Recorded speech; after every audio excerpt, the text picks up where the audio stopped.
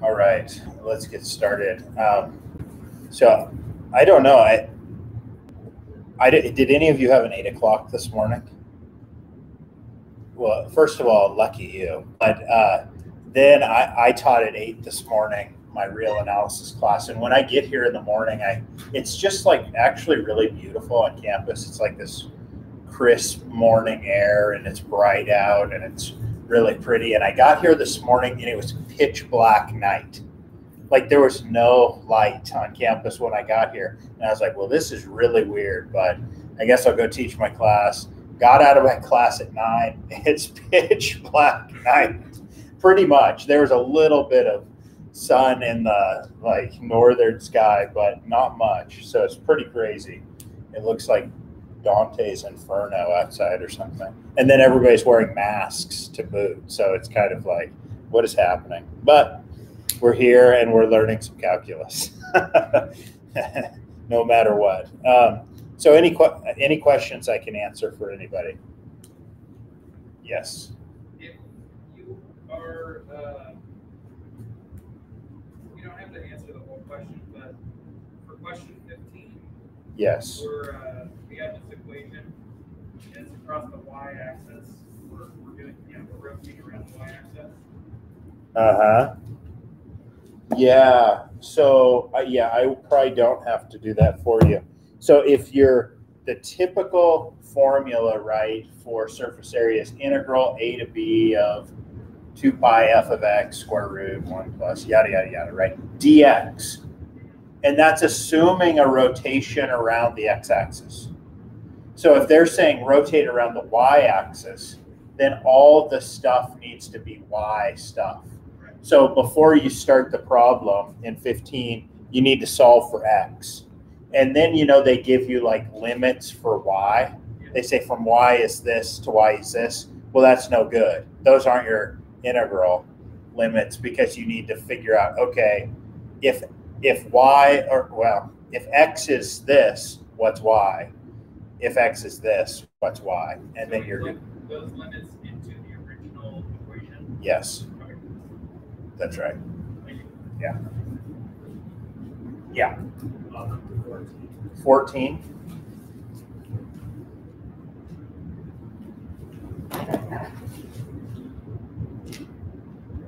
trying to remember, did we do, we did 14 on Monday.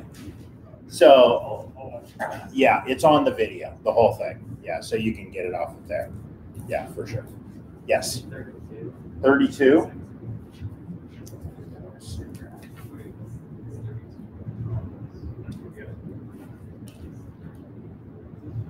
Thirty-two assigned? Everybody, okay, right. Not that you can't ask me one that's not assigned, but. Um, okay, so y is equal to x to the fourth over 8 uh, plus 1 over 4x squared. Um, for 1 less than or equal to x less than or equal to 2. 1 less than or equal to x less than or equal to 2. And we want to revolve that around the x-axis.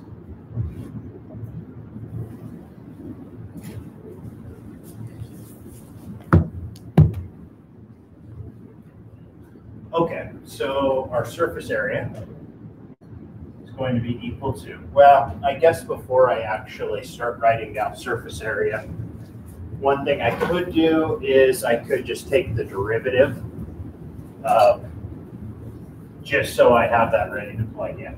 So what would y prime be?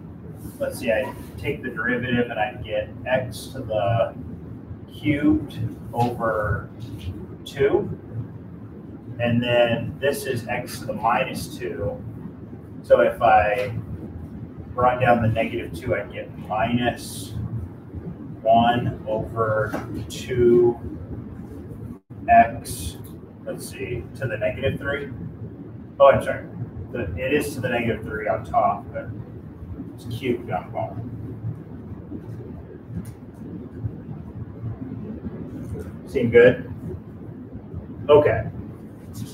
So now let's write our surface area.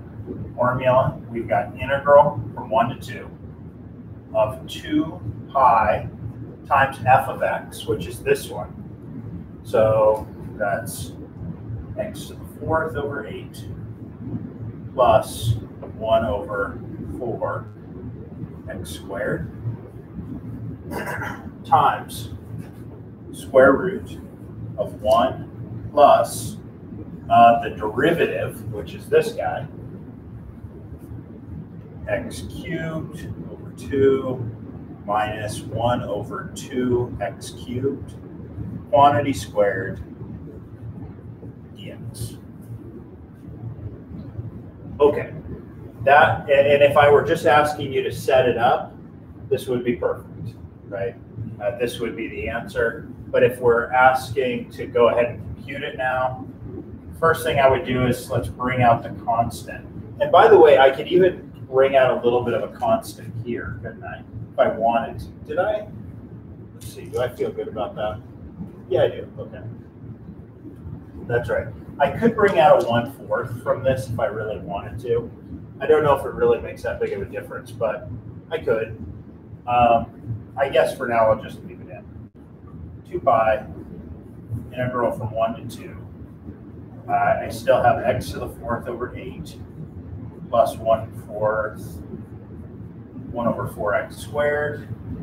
And then over here I need to square what's inside that parentheses. Okay, so the 1 is still sitting there. Square this out. Uh, what's x cubed over 2 squared?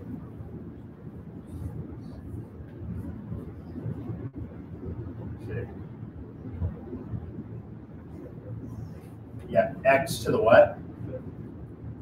Uh, not fifth, fifth, sixth. Yeah, because if I square it, it's x cubed times x cubed, which is x to the sixth, over 4. And then if I, I take 2 times the first, 2 times this thing is x cubed, times this thing, the x cubes cancel, and I just get minus 1 half. Then if I square this one, I get positive 1 over 4x to the 6th dx. All right.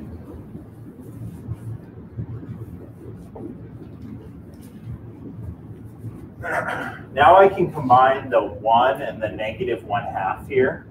And if I do, I'm going to write this one kind of quickly. Negative 2 pi, integral from 1 to 2, uh, x to the fourth over 8 plus 1 fourth times x squared uh, times the square root of x to the sixth over 4 plus 1 half plus 1 over 4x to the sixth dx. And now the question is, does this guy factor? It would be really great if it was a perfect square, right? So let's see if it is. So I get 2 pi uh, integral from 1 to 2 of x to the fourth over 8 plus 1 over 4x squared times the square root. Now, what's the square root of just that first term? Yeah, it's x to the third over 2. And what's the square root of that last term? Yeah, that's 1 over 2x cubed. If I added them together, is that true? So you said that this one squared is this one, and you said that this one squared is this one. So the question is, is 1 half 2 times this one times this one? So 2 times the first is x squared, times this one is positive 1 half. It's perfect.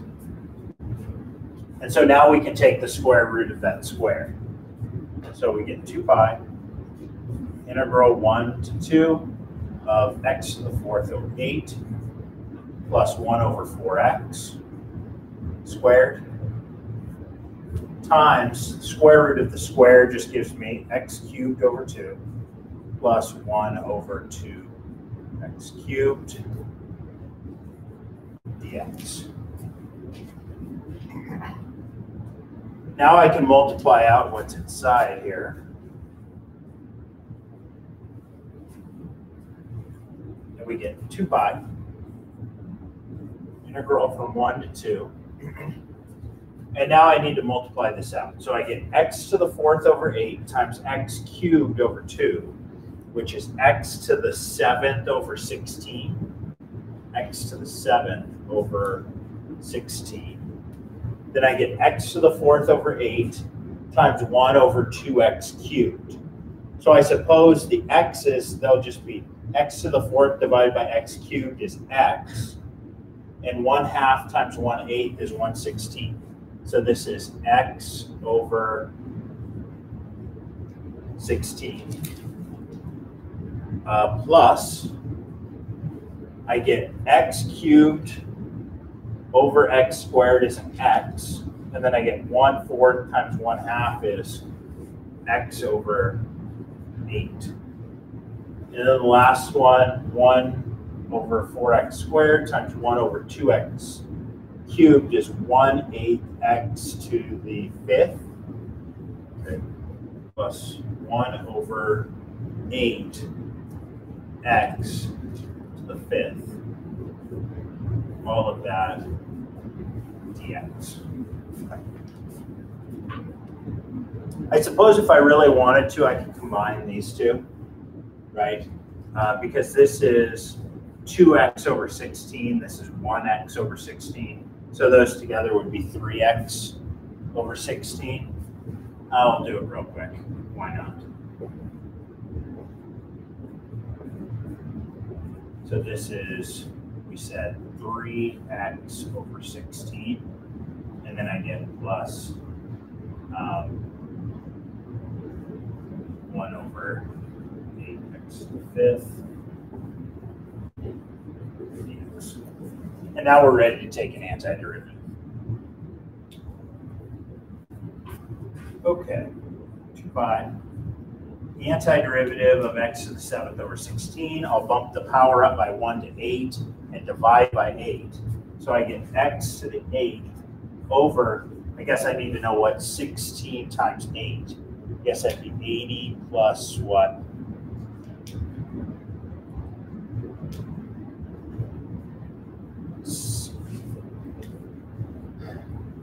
Uh, 48, right? 80 plus 48 is what? 128? That seem reasonable? Okay.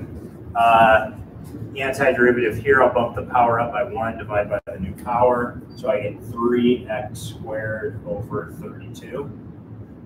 And then finally, this one is an x to the minus 5. So we have to think about this for a second. So I bump the power up 1, which is negative 3, and divide by negative 3. So if I divide by negative 3, I get minus 1 over 24 x to the, I bump the power up to, uh, okay, just a second. I feel like I did something wrong.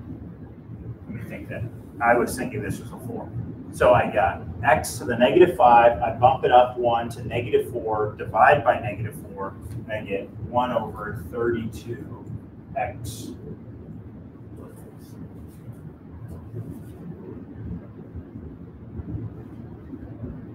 evaluated from 1 to 2. All right, now we just need to plug it in. So I still have my 2 pi on the outside.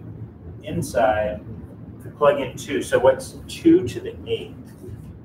So 2 to the 8th, I guess I could do it on my fingers. 2, 4, 8, 16, 32, 64, 128. 256? Yeah, I, yeah, I agree. So 256 divided by 128. I guess that's otherwise known as 2, but uh, we'll leave it like that for now. Plus, uh, 2 squared is 4, times 3 is 12. So I get 12 over 32. And then this one, if I plug in 2, 2 to the fourth is 16. So I get minus 1 over 32 times 16. All right, all of that minus, I plug in 1, and I get 1 over 128. Plug in 1, and I get 3 over 32. And plug in 1, and I get negative 1 over 32.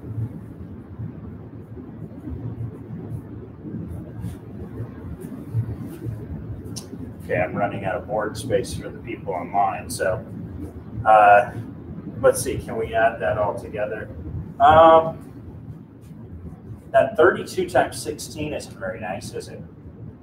Uh, what is that? So, what's that? Can we pull out a 32 out of everything? Yeah, I, I believe that we could. Although this one's so nice already, but it's okay. Uh, so let's plug, if we pulled out a 32 from every single guy, then I'd get 2 over 32, which is 1 over 16 pi, times, this one would become what I pull off? It would be 4, so 256 over 4. This would be plus uh, 12. This would be minus 116. Okay. Minus. Then we pulled out a 32, that's 1 fourth. Plus 3 minus 1. So that'd be another way to look at it, correct? So everybody, did I do something wrong?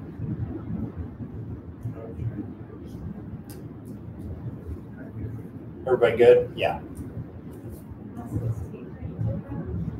Oh, right, never mind. Got it. You're good? Yeah. Uh, It's okay. If, if I made a mistake, I, I do such things from time to time, but I try not to. Is everything good? Okay. Good. Um,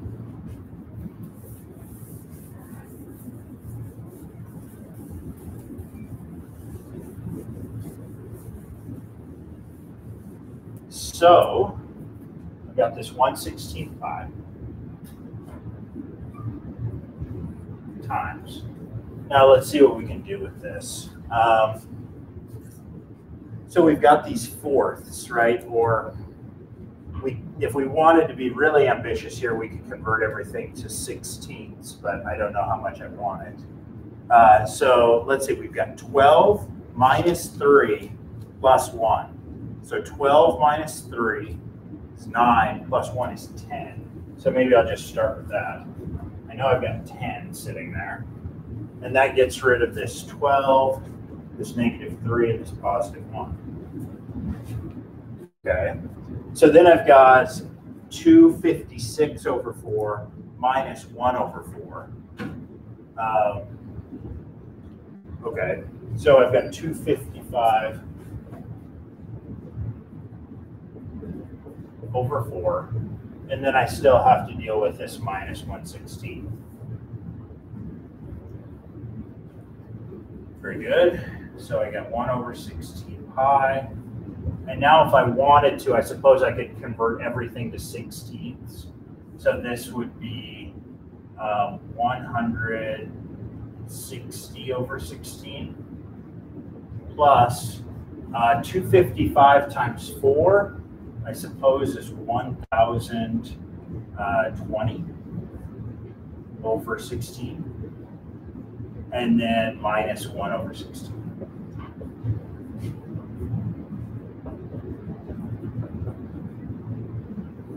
So what do we got here?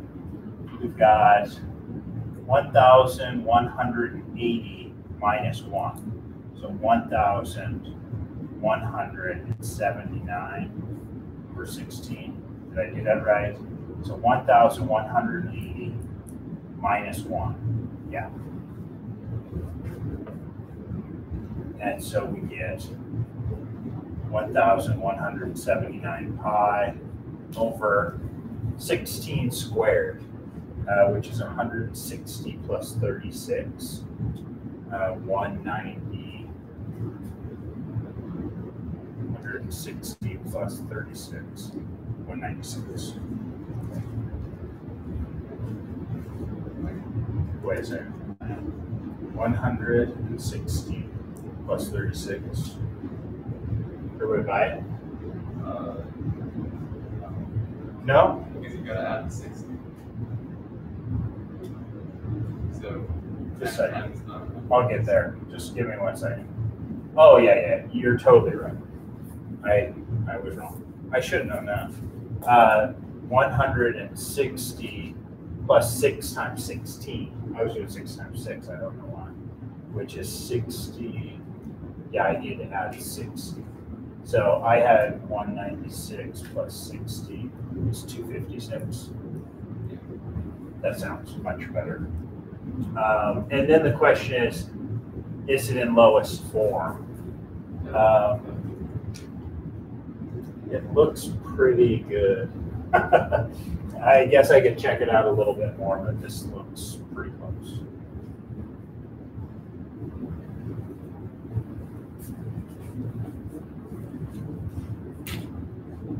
Any questions? What's that? I I love fractions. You love fractions? Yeah, that's pretty cool. Uh, a fun thing, since I don't know that we'll have like infinite problems to work through today, I'll, I'll show you something that I really think is fun. Um, nothing better on a dark, gloomy day than a fun math fact. So here we are. So I, I went and saw this talk by this guy once, and uh, he was really good at mental arithmetic. Okay, and uh, and maybe some of you have even seen him before, but um, he was talking about like squaring numbers, and he says like in school, we get pretty good at squaring some numbers, like the little ones, right? Like the single digit ones, typically. But you know, when you get to nine times nine, most people would say that's 81, and they'd be correct. And then 10 times 10 is 100. 11 times 11, most people even maybe know that one. What's that one? 121. And then if you go 12 times 12, 144, very good. 13 times 13, 169, very good. And this is when it starts to get a little bit fuzzy for people typically. I don't know why exactly, but when you get to 14 times 14, I don't feel like people are just like, oh, I know that. And maybe you do for 15 times 15. Do you know what that one is?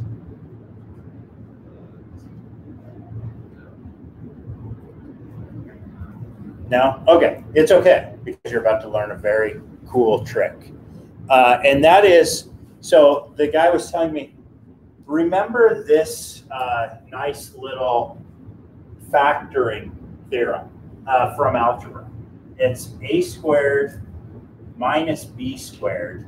It's like, do you remember factoring using the difference of squares? So the difference of squares says that that should be a plus b times a minus b. Right, that's just the difference of squares. Seem familiar? Okay, so here's the really cool trick. Just add b squared to both sides. When you do, you get that a squared is equal to a plus b times a minus b plus b squared. So, and I can choose the number b to be anything I want to. So, like, let's say that we took something like, what did I just have to square in my head and failed on? 16, right? That's really sad to me, actually, right now, but let's go with it. So, 16, I failed. So, what I would say is, okay, 16 is close to a number that I'd like to multiply by. What's the closest number to 16 that it's easy for me to multiply by in my head? 10. I like to multiply by 10, right? And so what I'd say is how far is 16 away from 10? 6. So let's choose B to be 6. So I say, if I'm going to subtract six, I also need to add six. So what's 16 plus six? Twenty-two. What's 22 times 10? 220. But then I need to add 6 squared, which is 36. So what's 220 plus 36? What's that? 256. Yeah. And so that's how you could do it. But you notice that, like, well, that you might be like, well, that's kind of cute. You know, that you could do 16. Good for you. Uh, well, let's do something more interesting then. Let's do like 91. So if somebody said, well, what's 91 squared? Basically, you say, well, I better get out my calculator, right? But I think we could do it. So take 91. What's a number that's close to 91 that I kind of would like to be able to multiply by? 90's okay, but there's even better 100, right? So how far is 91 away from 100? 9. So since I'm going forward 9 to get to 100, I need to go backward 9 to 82. Agreed? So 82 times 100 would be 8200. So 8200. But then I have to add 9 squared. What's 9 squared? 81. So 8281. So 91 squared should be 8,281, which it is. Can you show how it works within this theorem you got up there? How does it work? Sure. So what I want to do is I want to say, what's 91 squared? Right? And so what I say is it's equal to 91 plus 9 times 91 minus 9 plus 9 squared. Okay. So I add 9 to get the 100 in my head because I like to multiply by that. Then I have to subtract 9 and then I add 9 squared. And it's exactly right. And it actually makes it so if you are like motivated, like you could say, okay, two digit numbers, that's easy, right? Like let's do a three digit number. So could you square a three digit number in your head? Uh, so what's a good example of a three digit? Let's just take a random something like 123. Okay, so let's take 100. I'll just write down 123 just so we don't forget what we're talking about. So 123 is my number. I don't know if I can do this on the spot, but we'll try. So what would be something that I really like to multiply by? I would say 100. Like I like to multiply by 100, but that's a pretty big jump, 23. What's that? 125 is not bad. Uh, do I like it? I don't know because I don't know if I really want to multiply 125 by 121. What about, well, like, like a hundred and twenty? 112, maybe. I think I like 100. Uh, even though it's going to create maybe some problems for me, let's see how bad they are. Um, so 123 is 23 away from 100. But what's 23 on the other side? 146. Agreed? So 146 times 100 is 14600. 14600. That's something I need to remember because now I need to add to 14600 23 squared.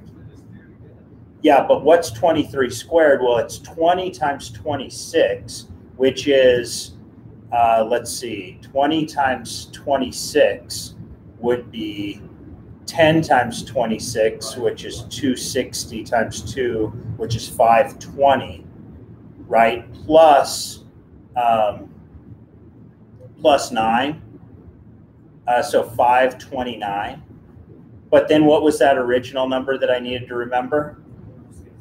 One, I believe it was it one four six zero zero, Yeah. and I need to add five hundred and twenty nine. Okay, so uh, what would that be? One five one two nine. So 15129. Is that right? Okay. I'm not very good at this. I haven't practiced a lot, so I you get to watch me just struggle through it. Uh, but this is really, really good, like mental um, exercise if you're interested, and you could just test yourself. So every once in a while, when I'm like super bored, I'm like, okay, okay, what's 72 squared? And it's just like, yeah, just kind of play with your mind a little bit and see if you can do it in your head, and it's kind of fun. Um, so I like to share little things like this every once in a while. But that one's really fun. So the guy who showed it to me, he said he could do a five digit number in his head. So, and he even made sure that it was like real because he like pointed at five different volunteers in the audience and they each picked a digit in their head. And then he asked for those digits. And then that was his starting number. And then he had to square it it took him a little while, but he also did it out loud, kind of like I was just doing. But what he has to do is because it's hard to remember strings of numbers. Like for me, it was even hard to remember like the 14600 after I was working on the other problem. So he had ways of remembering digits as words. So he could convert like 146 into a word for himself to remember and then he was able to store that word. So, so he was like, okay, it's boat boy. Okay, boat boy, boat boy. And then he'd go do the second part of the problem, and then he'd be like, okay, it was boat boy. And so then he'd have it was, and he was just going through all this, like, and letting us listen. And then eventually he'd be like, two, four, six, one, nine, seven, three, five, two. And it was like, oh my gosh that is messed up. So he, he was really, really good at it, but he'd had a lot of practice. So pretty fun. Anyway, uh, let's see. Any other questions over uh, surface area? Let's see. Somebody online said, Can I do number 20? Yes, I can. Let's see. Let me write it down.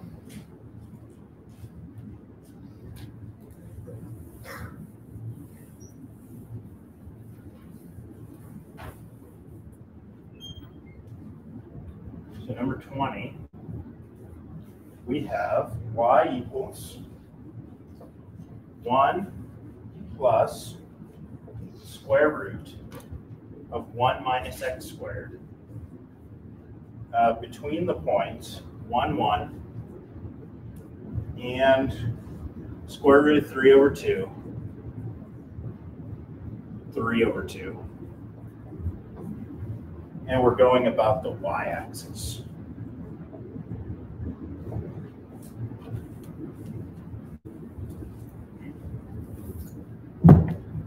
Okay, so if we're going to revolve around the y-axis, the first thing that we've got to remember is everything has to be in terms of y. So we're going to integrate from something y to something y with y stuff in the integral dy. And that's important because right now this is written in terms of x. And so we really need to solve for x. So let's see. I guess I have y minus 1 square root of 1 minus x squared. I could take, I could square both sides, so I get y minus 1 quantity squared is equal to 1 minus x squared. I get y minus 1 squared minus 1 equals minus x squared. Uh, this is getting kind of nasty, but I guess, so I get 1 minus y minus 1 quantity squared is x squared, and then finally x is going to be equal to, I suppose it would be plus or minus the square root, but I'm assuming we're looking at square root 1 minus y minus 1 squared. Okay, so technically if I take the square root of both sides of this, x is plus or minus this, correct? So what I have to be a little bit careful of is that does like this number actually go in if it's plus or it's minus? So if I took like positive one for y and plugged it in here, this is zero. Square root of one is one, not negative one. So I don't have to worry about the negative one that could come out of this because this point doesn't go through. So it's the positive half of the square root that I'm interested in. Does that make sense? So it's not that I'm just skipping that step of putting plus or minus. I can just see that it's not the minus one. Yeah, Oh, never mind. You're good? Okay, so it definitely would be x equals plus or minus the square root, but these points tell me the plus one is the one I'm interested in. All right. By the way, maybe we could do a little bit better than this. Uh, I could square it out. If I do, I get the square root of 1 minus y squared. Then I get 2 times negative 1 is negative 2, negative 2y, positive 2y, plus 2y. And then I get negative 1 squared is 1 times a negative is minus 1. So this turns out being the square root of 2y minus y squared. Okay. Also, I need the derivative, right? So I need to know if that's my x, then what's x prime? Well, I suppose by the chain rule, it's 1 half quantity 2y minus y squared to the negative 1 half times the derivative of what's inside, which is 2 minus 2y. Another way of writing that, though, would be 2 minus 2y is on top. On bottom, we have 2 square root of 2y minus y squared. And now, if you wanted to, you could cross out all the 2's. And this is just 1 minus y over the square root of 2y minus y squared. Okay, so that's the derivative. So I've got my function, I've got my derivative, and now I'm ready to set this thing up. So my surface area is equal to the integral. Now we're integrating from a y value to a y value.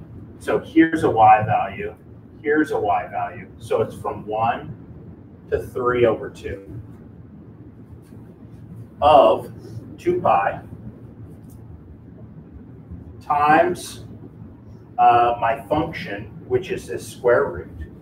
So square root of 2y minus y squared times the square root of 1 plus the derivative, which is sitting right here, 1 minus y divided by the square root of 2y minus y squared, quantity squared dy. Okay, so if the goal was just to set this thing up, we're all done setting it up. Uh, and now let's do our best to work through this thing. Uh, so I could pull out the 2 pi. If I do, I get 2 pi integral uh, 1 to 3 over 2 square root 2y minus y squared times the square root of 1. And then we'll square this out. On top, I get plus 1 minus 2y plus y squared. And on bottom, I get 2y minus y squared because I just square the square root dy. Now we can combine these, get a common denominator and combine.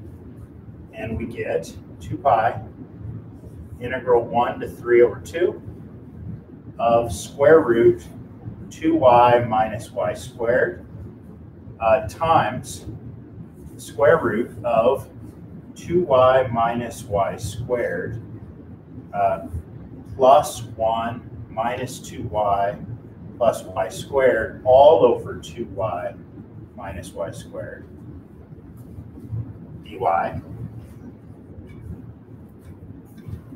which is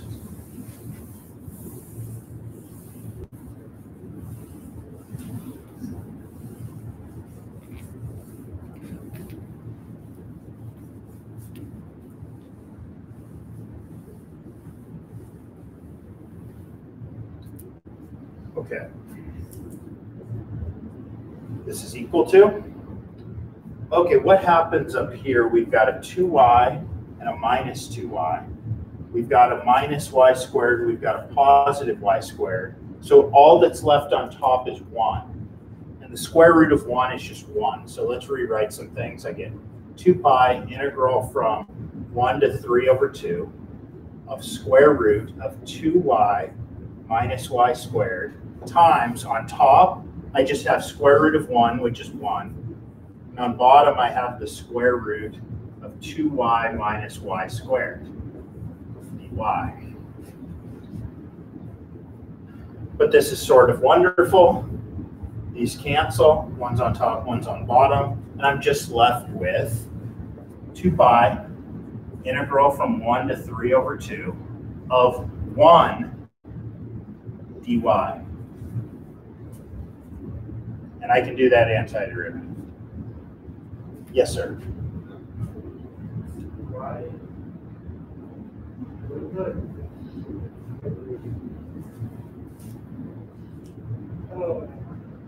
You're good? Yeah. Okay. Yeah, where did the square root come from on the bottom? Yeah, the whole thing was squared, square rooted. And so that's the same thing as the square root of the top divided by the square root of the bottom. So the square root of the top was just the one. The square root of the bottom was just the square root of the bottom. Yeah, okay, so this is equal to two pi. Integral, oh, uh, antiderivative of one is y, evaluated from one to three over two. Now just plug it in and I get two pi times three over two minus one, which is just two pi times one half, which is pi. And that's very pretty. So all that work for just a little pi, kind of sad. Um, okay, where are we at? About five minutes left. Any short questions I can answer, or people feel pretty good about this homework at that this point? Yeah. Number eight, sure. Let me see. y equals 12 minus 3x. Yeah, so I think that for that one, you should be able to follow just the same technique and get there because the square root, I'm sorry, the derivative is just minus 3, right? So minus 3 squared is just like 9, and then you're adding 1. So that other piece over here, this whole section just turns into like the square root of negative, I'm sorry, the square root of 10 or something. So once that's a constant, you can pull it out of the integral and then it's really easy. So, oh, Like the answer. you didn't like the answer? Well, I'm sorry. I, I hear you. Uh, okay, yes, sir. One fifteen, uh, convert the amount of twenty to run the, the, Say that again. Yes. So. the find, you have to switch it to the y axis. Yes. So, One it, in, one four, and one two. Yeah, you do have to switch it to the y-axis. So you do have to write it as like y plus one divided by four is the function. Yeah. Then take the derivative of that and go So from you there. the points at one and four. Yeah, so it defines it from x equals one to x equals four. So you have to say if x is one, then y would be four minus one, so three, right? So that's one of them. And then for the other one, four times four is 16 minus one to 15. Yeah, you got to switch everything over to y.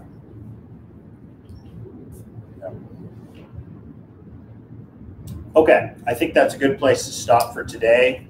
On Friday, we will start talking about the homework for physical application section. So try to watch that lecture and those example problems before then. Get a little bit started on your homework. Come with some questions over the physical application, and that will be good. Uh, have a good day.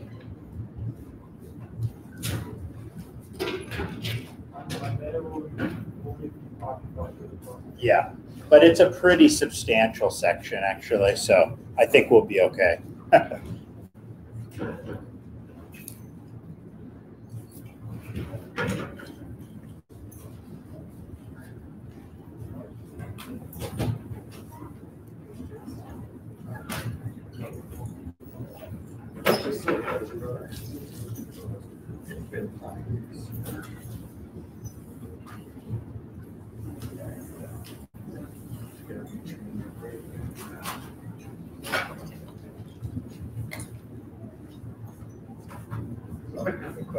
Sure. Um, for like this homework assignment, yes. it seemed like there was a lot, like algebra involved. Um, and I'm not really that like confident in doing like all that kind of stuff.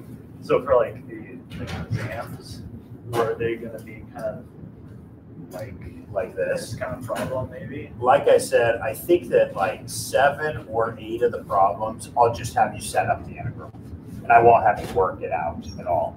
But then two or three, I will. So it's kind of like if all, if you're kind of like, well, I can get to the integral, but then integrating it with all the algebra and stuff, that's kind of a mess. Kind of like, well, that'll probably be two or three of the problems of the ten on the exam. Then the others will just be like, just set it up, show me you know how to get it to the place where you integrate it. But at the same time, you do need to be able to Yeah. do, but it won't be like if you are doing that on your algebra, you're gonna fail the exam. That's not, not gonna Okay. be the case, no. All right. Yeah. And so for like a problem like the surface area one, Uh-huh. like, um, so when you set up the integral, is it gonna be like all the way until before this point? Or- Yeah, way wherever? before. So just right when I say like surface area equals integral from A to B, two pi f of x, you know, square root, whatever. Yeah. Uh, that, as soon as I write that first integral, that's it. We wouldn't even have to like square the. No, none of it. Just put in exactly what the formula says Yeah. and you're done. So basically, I'm just seeing, do you understand how to set this integral? And then it's kind of like, there will be a few where I want to know, do you remember how to take an integral? Yeah, like Yeah. the fundamental theorem. of calculus. Yeah. Okay. Exactly. But it, the majority of the test won't be. Okay. All right. Sounds Yeah. good. Yeah. Thanks. Yes, sir. Hi. Hello.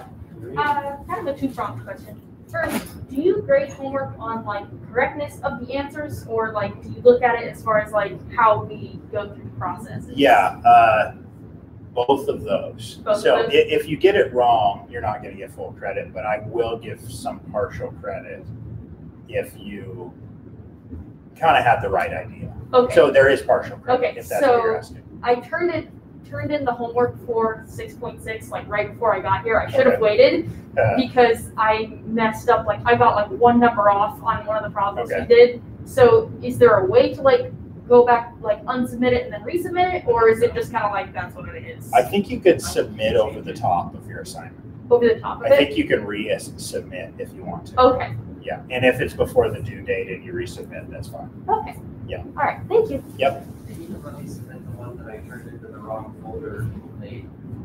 Cause I, I agree, I. Yeah, yeah. Oh, gotcha. Now, The, the other thing though, that like, it's like one problem, a little bit off, isn't really gonna affect your grade that much, but definitely do it. Uh, Yeah. You're, you're certainly welcome to, I was gonna say it's like those are the easy points that I can Yes, make. uh, for sure. So, for sure. okay. Thank you.